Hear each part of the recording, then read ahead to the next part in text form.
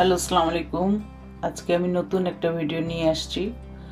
আজকে মজাদার একটা রেসিপি বেগুন ভর্তা। ভর্তা একটা লোভনীয় খাবার যে কোনো ভর্তাই আমার খুব পছন্দ। আজকে আমি চট্টগ্রাম হোটেলের স্টাইলে বেগুন ভর্তাটা বানাবো। আশা করছি ভিডিওটা আপনাদের ভালো লাগবে। ভালো লাগলে অবশ্যই আমার ইউটিউব চ্যানেলকে সাবস্ক্রাইব করবেন এবং ফেসবুক পেজকে লাইক করবেন।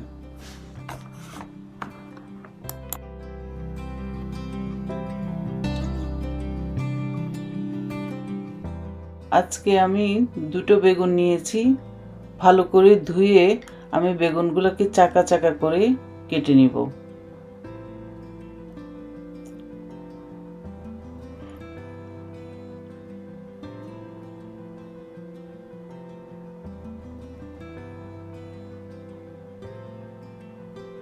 এরপর আমি লবণ, এক চামচ লবণ এবং এক চামচ হলুদ দিয়ে ভালো করে মাখিয়ে নিব, যেন প্রতিটা বেগুনের মধ্যে হলুদ এবং মশলাটা লাগে।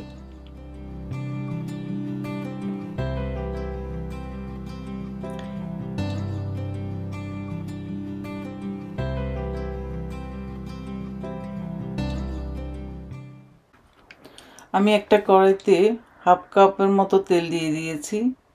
আজকে আমি সয়াবিন তেল ইউজ করলাম। এখানে আপনারা চাইলে সরিষার তেল ইউজ করতে পারেন।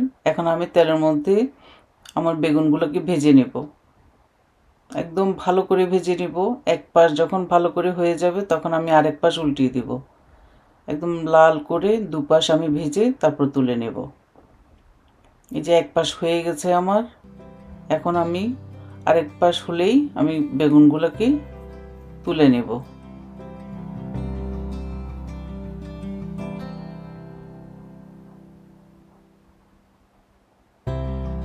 আমার বেগুন কমপ্লিট ভাজা হয়ে গেছে। এখন আমি তুলে নিয়েছি।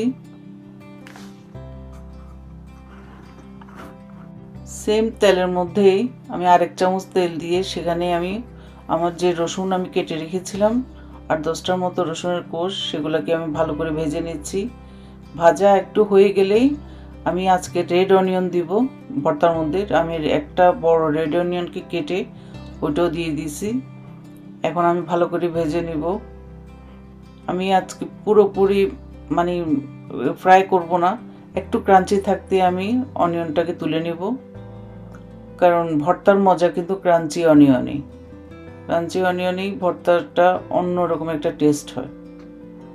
এখন আমি এটা তুলে নিব। সেম অয়েলের মধ্যেই আমি শুকনো মরিচগুলো ভেজে নিব। আজকে আমি দশটার মতো শুকনো মরিচ নিয়েছি। সবগুলো সবগুলো ভালো করে ভেজে নিব। ভাজা হয়ে গেছে আমার। এখন আমি ভর্তাটা মাখাবো। এই যে আমার অনিয়ন, তারপর রসুন, পেঁয়া মরিচ, সব ভাজা হয়ে গেছে। এখন আমি হাত দিয়ে মাখাবো। আর ভর্তার মজা কিন্তু হাতের মাখানোতে এখন আমি প্রথমে বেগুনগুলোকে ভালো করে মাখিয়ে নিব। আর বেগুনের যে স্কিনগুলো, সেগুলো আমি তুলে অন্য একটা প্লেটে একটা একটা করে তুলে নেব।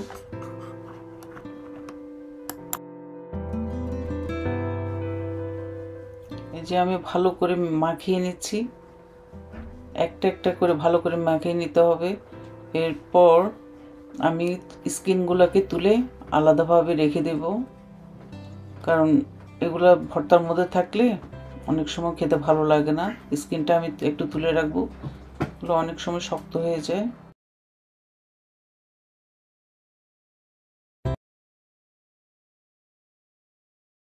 আমার মাখানো হয়ে গেছে। এখন আমি এখানে আমার যে অনিয়ন, ভাজা রাখা অনিয়ন এবং যে গার্লিক, ওগুলো আমি এখানে দিয়ে দিব। দিয়ে প্রথমে আমি অনিয়নটাকে মেখে নেব। রসুন এবং পেঁয়াজগুলোকে খুব ভালো করে আমি এখানে মাখিয়ে নিব। একটু সময় নিয়ে আমাকে মাখাতে হবে। ভালো করে যখন মাখানো হয়ে যাবে, তারপর আমি ভালো করে বেগুনের সাথে মিক্সড করে নেব। একটু সময় লাগবে রসুনটা কারণ একটু শক্তই রয়ে গেছে। আর পেঁয়াজটা তো ক্রাঞ্চি আমি ইচ্ছে করিয়ে রাখছি, কারণ ভর্তার স্বাদ কিন্তু ক্রাঞ্চি পেঁয়াজে।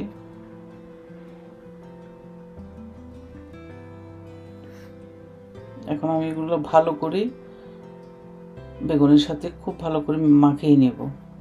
আর অন্য একটা প্লেটে আমি মরিচের সাথে এক চামচ লবণ এবং এক চামচ সরিষার তেল দিয়ে ভালো করে মরিচগুলোকে মাখিয়ে নিচ্ছি।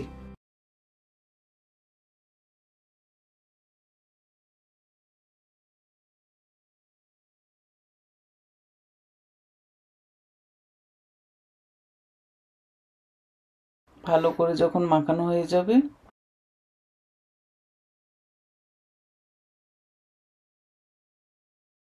এই যে আমি সরিষার তেল দিয়ে দিচ্ছি। সরিষার তেল দিয়ে আমি ভালো করে মরিচটাকে মাখিয়ে নিব।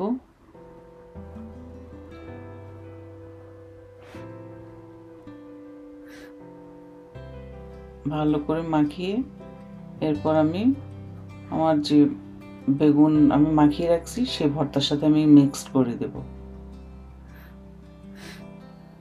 মিক্স করে আমি ভালো করে এখন এগুলো মাখাবো।